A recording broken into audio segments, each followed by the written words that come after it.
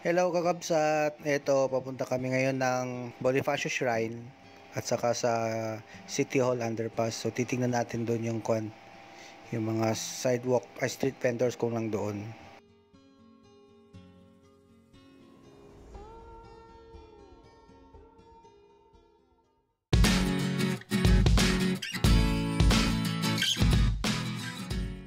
So nandito kami ngayon sa Quiapo.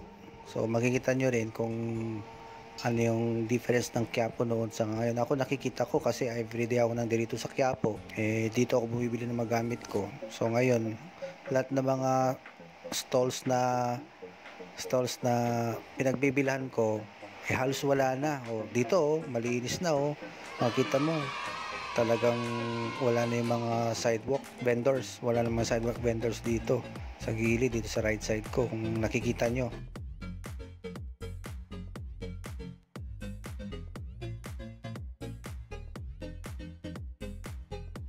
So makita mo lang dito yung mga tricycle lang ang mga nakapila dito so wala nang street vendors.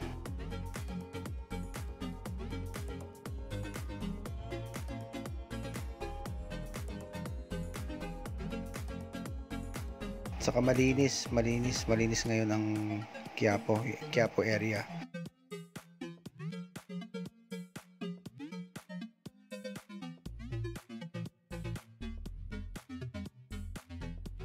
To. So makita nyo yung may mga stores pa rin pero kuan na siya oh.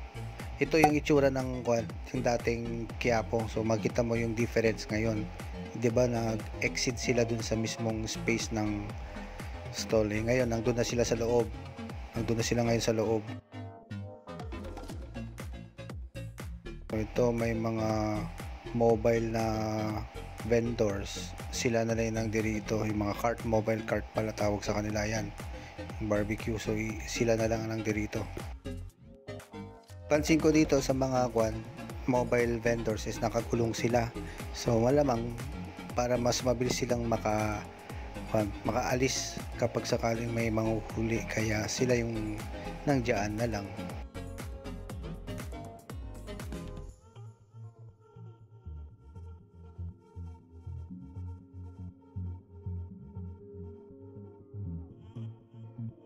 Ito, so harapan namin itong mga e-bike.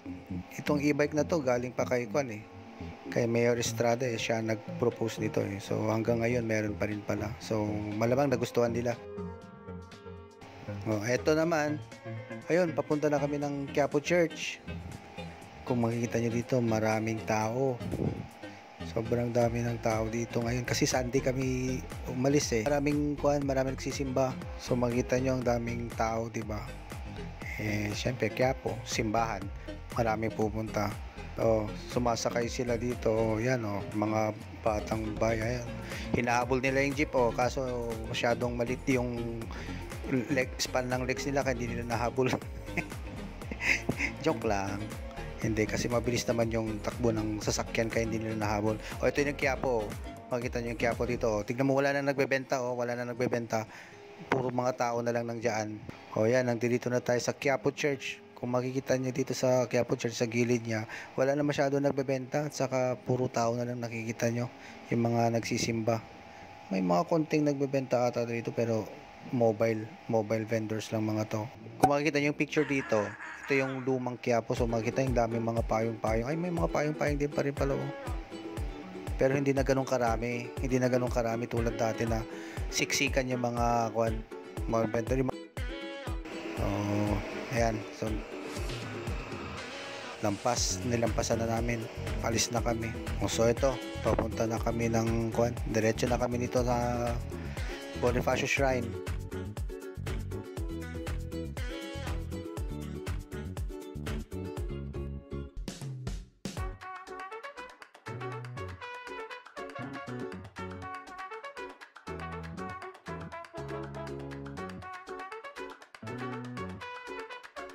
do Carriedo Street. So marami din ditong kwan.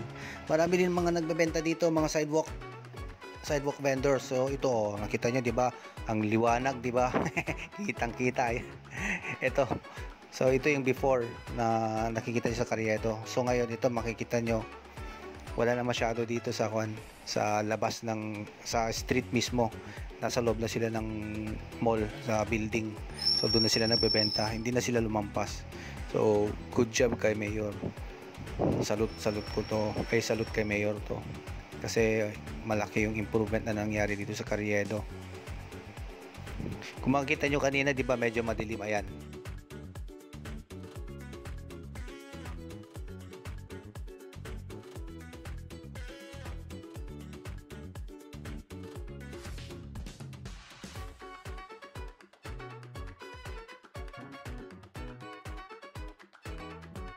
So maluwag, malinis pang tignan no.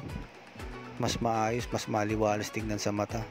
Masarap ng bumiyahe, hindi ka na nahirapan. O ito ang itsura ng Avenida before. So may lampas, lampas makita yung mga stall ng mga kanina sa before. Ngayon wala na. Oh, nasa loob na sila ng kuan. Building, nasa loob na sila ng building. So malaking improvement. Magaling, magaling.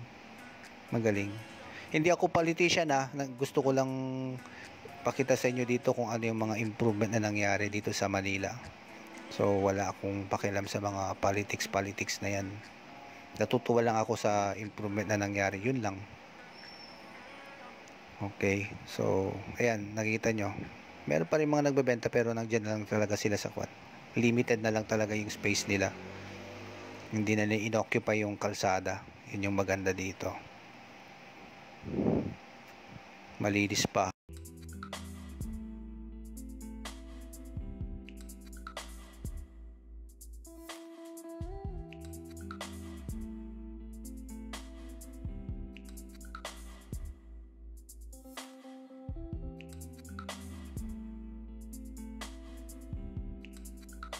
Um, akala ko akong pinapara niya. Hindi pala.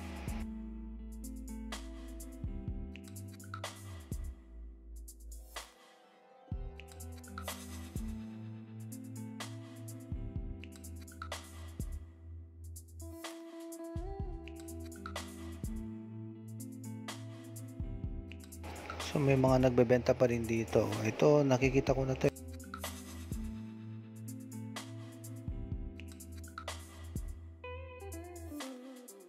Dati nung, nung mga 20 age 26 pa ako nilalakad ko lang mga to eh. Area na to.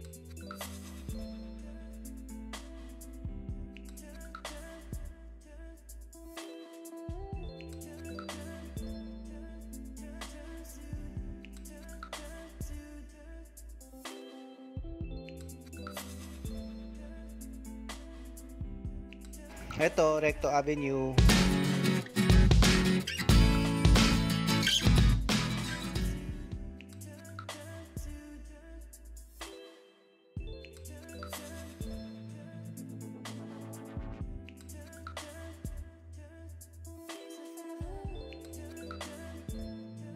Recto Avenue. So makikita nyo naman kung ano yung kinalabasan ng Recto ngayon. So wala masyado yatang kon dito eh. Nagbebenta ng mga mga kung ano-ano. So same pa rin ang nakita ko. Walang wala namang kon.